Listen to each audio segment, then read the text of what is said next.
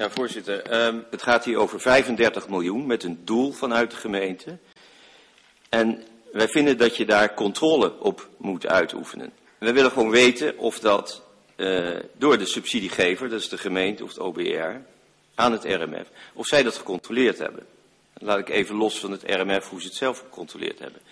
En, ehm, en daar zijn die eerste vragen op gericht. En ben wel blij dat ik een eerlijk antwoord heb gekregen. Het antwoord is gewoon nee. Ehm, en laat ik helder zijn, ik ben blij met een eerlijk antwoord. Ehm, ik ben niet blij met de reden. U zegt, dat hoeven wij ook niet.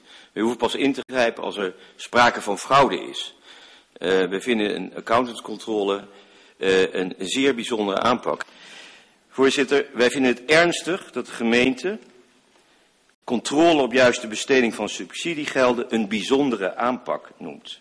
Volgens ons moet het de gewoonste zaak van de wereld zijn. Dank u wel. Ik dank u wel. Uh, wie van de leden van de commissie mag ik het woord geven? Ja, voorzitter, toch nog even. Over die uh, bestedingen in Rotterdam.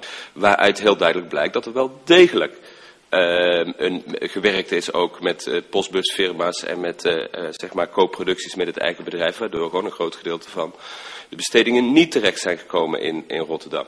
En ik ben het helemaal eens met de heer Molenaar dat wat u hier aantoont met de beantwoording van die vragen in ieder geval één ding niet doet, namelijk dat u dat A gecontroleerd heeft, echt gecontroleerd heeft, dat zeg maar de bestedingen uh, ook terecht zijn gekomen in Rotterdam. Wat wel ook in de statuten staat en de doelstellingen van het fonds was. Dat is één. En het tweede, u, u zegt ook nog eens een keer dat u dat helemaal niet meer wilt gaan controleren. Dat vind ik vreemd, want dat is precies het, de doelstelling van die schriftelijke vragen die wij gesteld hebben. Maar er wordt de hele tijd maar overheen gelopen. Dat begrijp u, ik niet. Voorzitter, dan geef ik het woord aan de wethouder. Voorzitter, de heer Molenaar uh, geeft aan dat uh, de subsidiegelden, daar moeten we voorzichtig in zijn.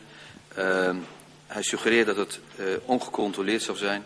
Uh, nou, ik heb denk ik ook in die brief uh, en die beantwoording aangegeven dat we het gecontroleerd hebben. Heel kort, de vragen worden keurig ook met nee beantwoord. Overal. Moet u nu niet ja zeggen. U is allemaal met nee beantwoord, niet onderzocht. Nee. Moet u nu niet nog even ja zeggen, dat is raar. Ja. Voorzitter, um, dus het is ook zo niet dat het allemaal maar uh, gegaan is zoals gegaan is. Daar zat degelijk controle op. Ja, voorzitter, ben ik het helaas met de wethouder oneens. U toont nergens aan dat de investeringen in Rotterdam beland zijn. Uh, u heeft niet de ASR dus gevraagd, uh, bent u bereid om te controleren of alles in Rotterdam uh, beland is qua facturen, zowel facilitair als productie. Daar gaat het om en dat is niet gebeurd. En u kunt het ook niet aantonen, u toont het hier niet aan. U heeft het over een ASR-onderzoek. Uh, ik heb het hier niet hoor. Ik weet ook niet wat de ASR gedaan heeft. Ik ben er volstrekt onduidelijk over. Um, in dat geval helaas zal ik het verzoek van de SP en ChristenUnie steunen.